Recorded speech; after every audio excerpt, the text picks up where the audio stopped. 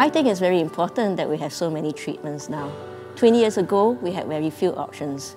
Now, we have optical treatments, pharmacological treatments, and also environmental treatments. This is important because some treatments might suit some patients better than others. So now we can mix and match, and we can give patients choice and provide personalized healthcare. I've been tasked to talk about myopia control glasses as well as atropine eye drops.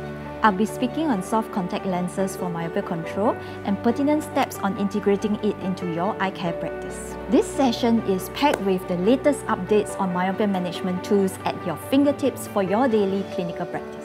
I think we're trying to be quite ambitious in this session. We're going to talk about all the different interventions, evidence-based, and we're going to give people tips about how to use different treatments as well as how to mix and match them.